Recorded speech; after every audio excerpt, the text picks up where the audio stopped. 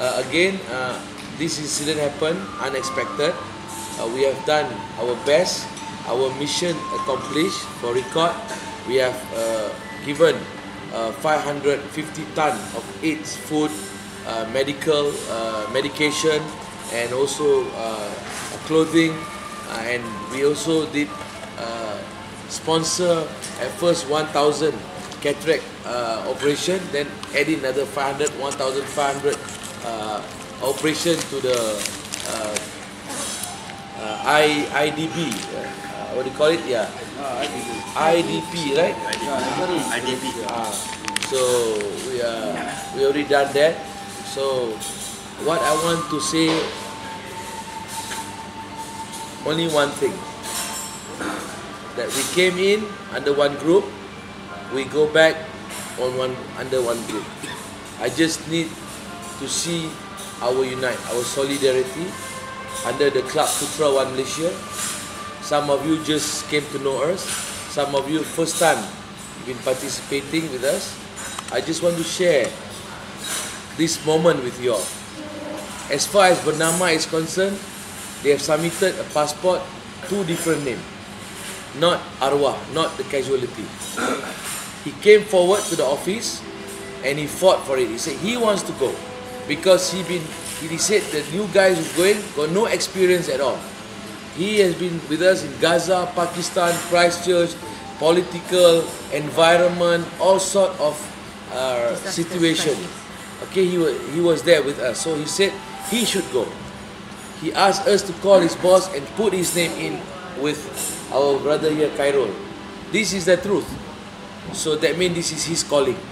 You know, God, we it can be happen to me, Datu N, Datu Daljit, any one of you, any doctors.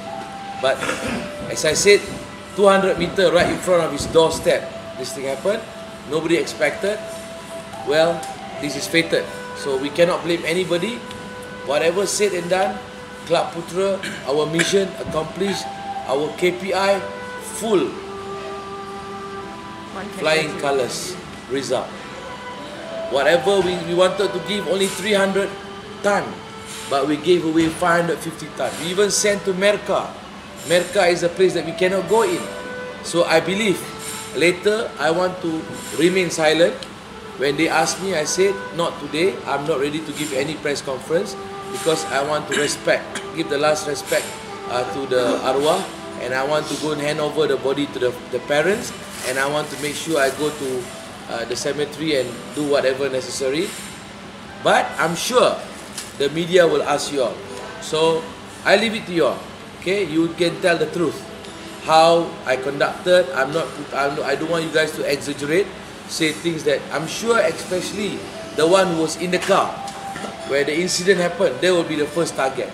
Number two, I'm sure they will ask the Somalian who followed us because the Somalian who followed us guaranteed 150% of our safety, which is the truth.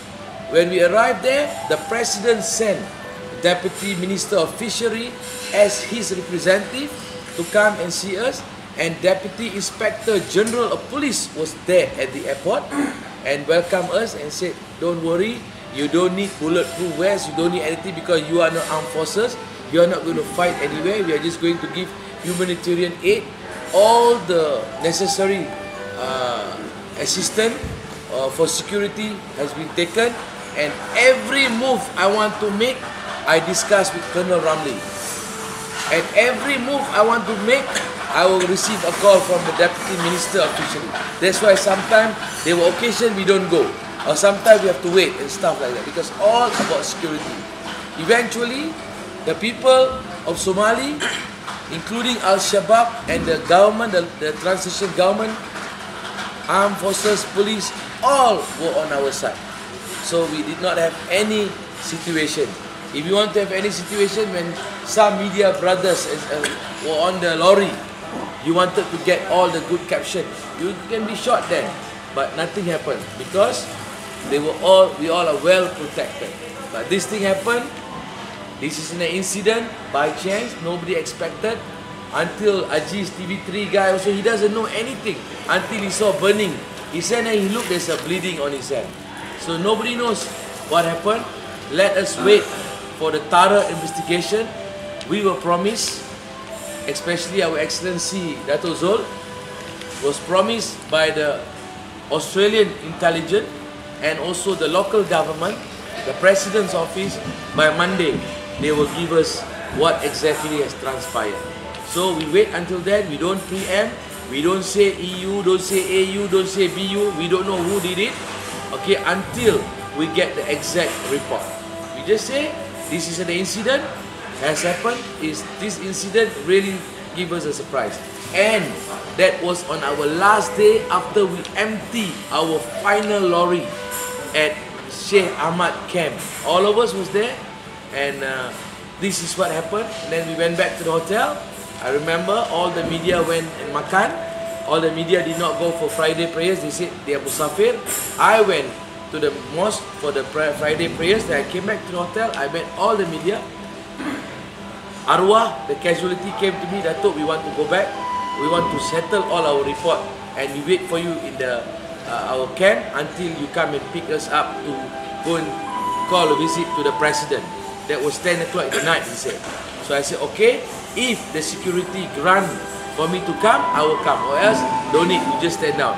That was the last. All the media was there. When I called for the security, I called for two vehicle, everybody went on, then I went and saw the business uh, counterpart. This is what the truth.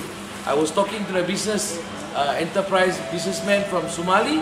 They are giving PowerPoint. I'm sure some of media, Utusan Malaysia all that was there in the room. Suddenly I received a call from Melissa. Dato, we were shot. I said, where? On the hand. So I said, Alhamdulillah, hand. This is what Melissa told me. I rushed there, hardly five minutes. Then I saw Aziz, so I said, okay, nothing happened.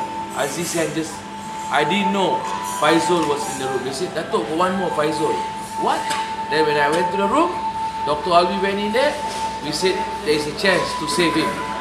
And the, even the Australian uh, intelligence come doctors told me we have to take. I want 10,000 US dollar. You prepare me 10,000 US dollar. We have to get uh, ambulance aircraft to take him out. I said done. Do it now. I said. So when Dr. Alwi went inside, then Dr. Alwi was trying to save him. Then suddenly I heard Dr. Alwi say, he's losing him, we are losing him, we are losing him. Then finally we lost him. Then immediately I spoke to the Prime Minister, I told the Prime Minister what happened.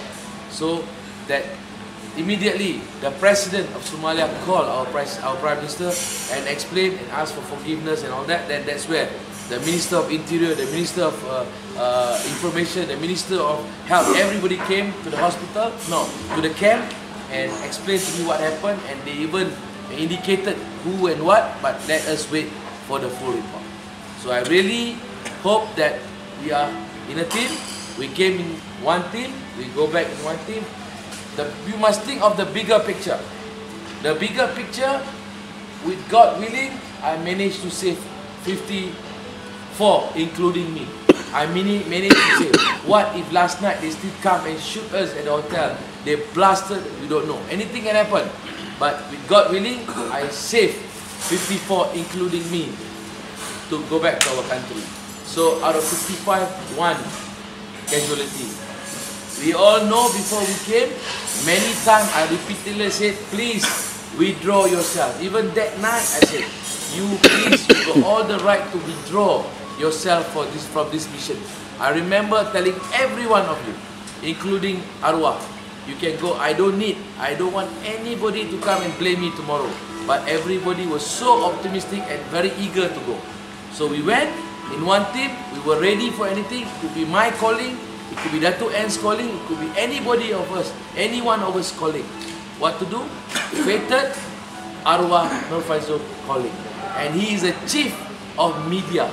Can you imagine what kind of calling? And his name was not there they sent us some other name and then this thing happened okay before I end uh, this uh, briefing excellency uh, Dato Zul you got anything to say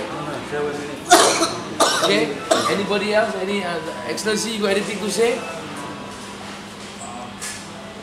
Because you are the one who initiated this mission with me together